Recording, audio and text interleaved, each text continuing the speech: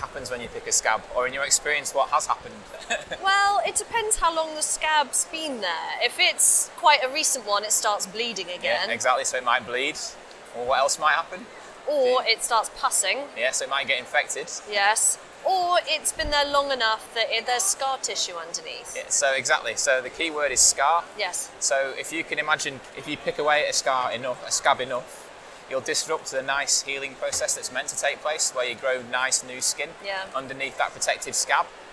And I try to do research to understand how that process happens, and how it might lead to what we call fibrosis. So that's a fancy word for a scar.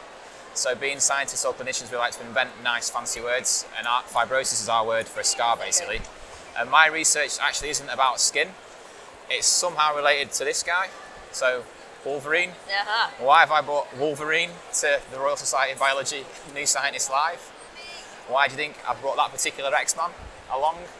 What's I mean, special he, about re- he regenerates. Exactly. So he can regenerate that's, from anything. That's the key word. So he can regenerate himself, and I'm interested in the liver because that also has a capacity a capacity to regenerate itself. Uh-huh. And the research we do tries to understand how that regeneration works and how it can go wrong when the liver becomes scarred or fibrotic for various different reasons.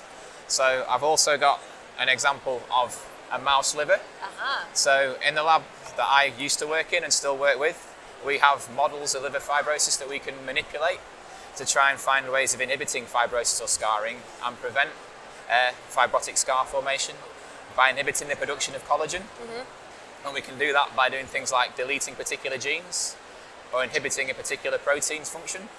And we end up with microscope slides with sections like this, which are really tiny, and end up with nice, beautiful images of a collagen scar, all stained in red. And we can actually measure the amount of scar and see if the experiments we've done actually have an effect on that fibrotic process.